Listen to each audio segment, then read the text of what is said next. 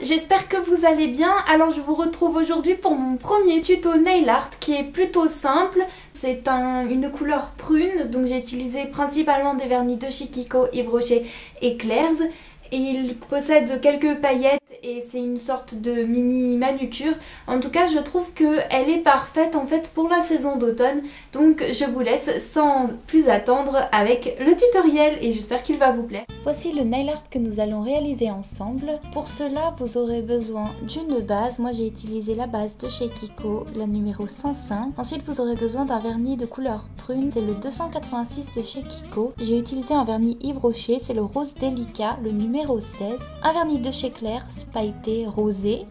Et enfin, euh, un vernis transparent, c'est le numéro 200 de chez Kiko.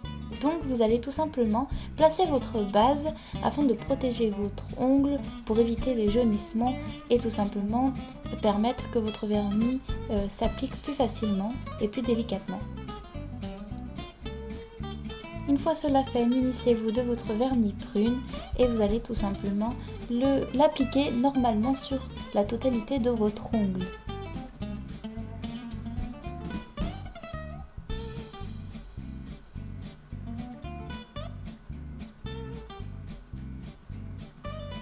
Ensuite, je prends le vernis rose délicat de chez Yves Rocher et je vais prendre simplement le petit bout de mon pinceau et l'appliquer comme une sorte de manucure mais vraiment tout au bout de mon ongle pour effectuer un tout petit trait. N'hésitez pas à prendre votre temps pour cette étape afin d'être le plus fin possible.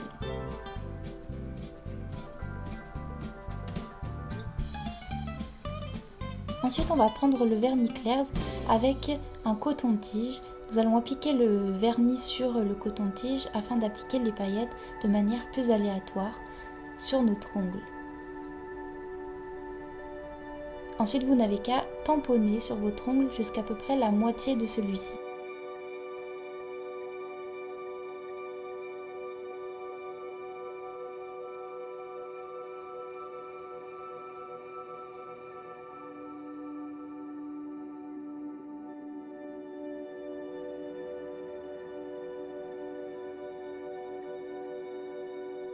Et voilà, rien de plus simple. Ensuite, vous n'avez qu'à appliquer une base, euh, un top coat, pardon.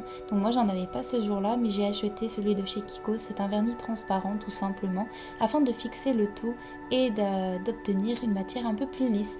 Voilà le résultat de notre euh, cher euh, premier tuto nail art ensemble. J'espère qu'il vous plaît.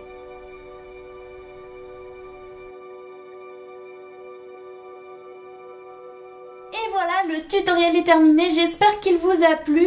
Il est plus ou moins simple parce que je ne suis à la base pas très très douée pour, euh, bah disons, pas faire des pâtés partout avec les ongles. Donc je me suis vraiment appliquée pour cette vidéo. Donc voilà, il n'y a pas eu de catastrophe et j'en suis contente. N'hésitez pas à reproduire euh, ce, nail art et à le partager, euh, à m'identifier si vous le souhaitez sur Instagram ou Twitter. Je vous fais d'énormes bisous et je vous dis à la prochaine vidéo.